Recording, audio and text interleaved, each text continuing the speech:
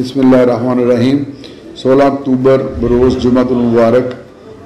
जना स्टेडियम में आने के लिए वमुन्नास की सहूलत के लिए सात पार्किंग प्ला जगहें जो हैं मखसूस की गई हैं और वो मुकर रास्तों से वो उन जगहों पर आ, सकते हैं।